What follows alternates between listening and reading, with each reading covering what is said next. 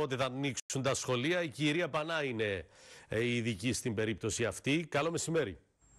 Γεια σας, καλό σας μεσημέρι. Λοιπόν, ε, είναι ουσιαστικά. Κάτι έχετε αλλάξει στη κάμερα και αυτό είναι καλό γιατί σας βλέπουμε πολύ καλύτερα. Ναι, αγόρασα καινούριο λάπτοπ.